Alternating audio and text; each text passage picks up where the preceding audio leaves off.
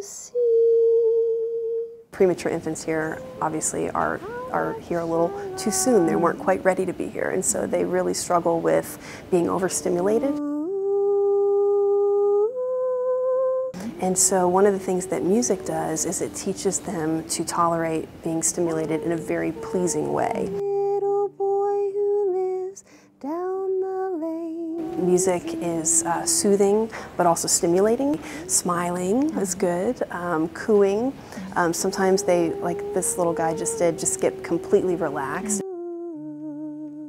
We are constantly watching for signs of overstimulation. So there are different things they'll do if they get overstimulated. They put up their little hand like, no. How much I love you. We hope that the babies uh, thrive, that they go home from the hospital sooner because the sooner they can go home from the hospital, the sooner that they can be um, with their parents at home all the time.